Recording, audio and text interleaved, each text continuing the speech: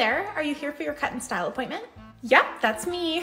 Awesome, what are you thinking for today? So I want to keep my length, so just a little trim, and I have an event today, so I'd like some big long curls. That sounds great, so just a wash, trim, blow dry, and some curls? Your total today is going to be $70 plus tax. Oh yeah, I saw online that a full cut was $70, but I just want a little trim.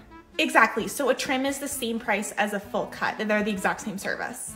That's outrageous. I'm not paying $70 for you to cut an inch off my hair. It's the same price no matter how much hair we cut off. Shouldn't it be like half price or something for such a small cut? Again, this is how much it costs. Would you still like the haircut? Well, yeah, today's my wedding day. I don't have much of a choice. Oh, uh, this is for your wedding. Okay, well, let's get started then. Okay, it's all done. How do you like your new cut and style? I love it. This is the best haircut I've ever had. Okay, great. So your total is $73.50, including the tax. Okay, here you go. You know, I would normally tip you because I can see you put in so much extra effort since it's my wedding day, but you're a little bit expensive, so that's all you're gonna get. Okay, well, thanks for coming by. Good luck at your wedding. Have a nice day.